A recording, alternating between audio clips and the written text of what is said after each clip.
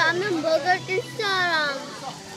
안녕하세요. 오늘 먹어볼 건 세븐일레븐에서 판매하는 강릉 교동반점 직화짬뽕인데요. 그냥 교동반점이라고 해야 돼가지고 제품이 있었는데 무식하게 매웠죠. 무식하게 매웠는데 직화짬뽕이라 어떤 건지 모르겠네요. 강릉 교동반점은 어, 전국 3대 짬뽕 중에 하나로요. 강릉에서 유명한 집인데 뭐, 가게도 엄청나게 좁고 줄을 엄청나게 서서 기다리, 기다리셔야 되는데 한 번쯤 꼭 드셔볼 만한 맛집입니다. 예, 들어가 보시면 되고요. 물론 여기도 나트륨은 무진장 높고요.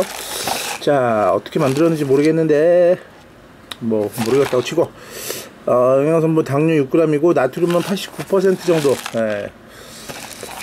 실제로는 더 높다 그 강릉 기동차품 보면은 하루 권장량이 두세 배 돼서 한 4, 뭐 4천 이상 된다는 얘기가 있더라고요 모르겠는데 하여튼 이렇게 어, 일반적인 뭐 면발 있고 그 다음에 액상 스프가 하나 들어있고 분말 스프 건더기 스프가 들어있습니다. 자 조리하는 방법은 분말 스프 어, 어, 이런 식으로 넣는데 아, 한꺼번에 다 넣으라는 얘기구나. 뭐 따로따로 해놨어. 자 액상 스프부터 짜볼까요? 액상 스프가 독, 안, 안 들어있는 게 독특한데 이제 어, 교동짬뽕 가시면 여러가지 맛있는 게 아니고요. 짬뽕 짬뽕밥 그 다음에 만두 딱 세 가지밖에 없습니다 가게도 진짜 조그맣습니다.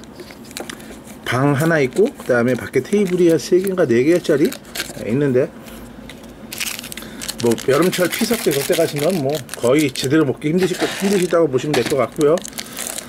그 평일이나 예, 좀 점심시가 아닐 때 그때 한번 들려보시면 야 이런 맛도 있구나. 맛은 괜찮긴 괜찮습니다. 영양적으로 좀 안 좋을지 모르겠지만 네 이렇게 돼 있는데 자 그래갖고 와서 먹어보도록 하겠습니다 그래갖고 왔는데요. 자 기대된다. 음 짬뽕 향은 좋습니다. 또 국물이 얼마나 엽기적으로 매울지.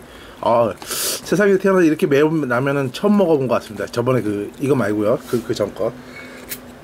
면부터 먹어봐야겠다. 저번에 면을 먹으면서도 어, 매워라는 생각이 들었는데 그동안 그 전에 먹었던 가장 매웠던 거는 그 공화춘 아주 매운 짬뽕. 네, 그냥 공화춘 짬뽕 말고요. 공화춘 아주 매운 짬뽕이 있습니다. 그거 됐는데 교동을 먹으면서 아 순위가 바뀌었는데 과연 또 이건 어떨까요?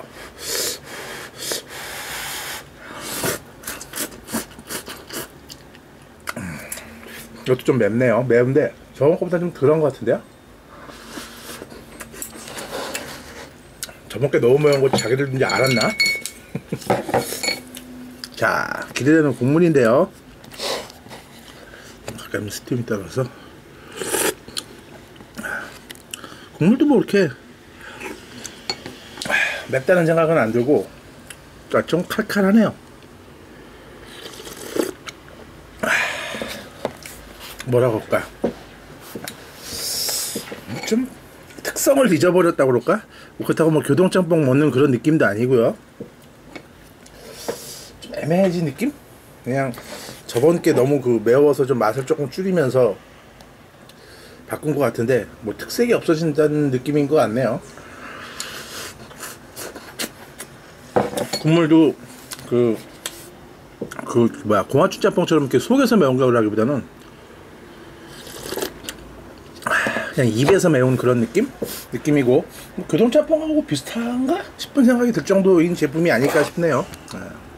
하여튼 뭐, 짬뽕 국물 좋아하시면 한번 드셔보시는 것도 좋을 것 같지만, 개인적으로 뭐 그게 크게 큰 특색은 없는 것 같고요. 요거 전에 나온 그 교동짬뽕 그냥 그 황금색으로 된 거. 요건 검은색이고, 황금색으로 된 거 드셔보시면은, 무진장 맵다 싶은 생각이 드는데 실제 그동짬뽕은 그렇게 매울 정도까지는 아니거든요 어, 또 참고하셔서 이런 제품도 나왔다 뭐 직화짬뽕이라는데 어, 하여튼 뭐 매운 거 좋아하시면 한번 드셔보시는 것도 좋을 것 같으니까 참고해 보시기 바라겠습니다 안녕히 계세요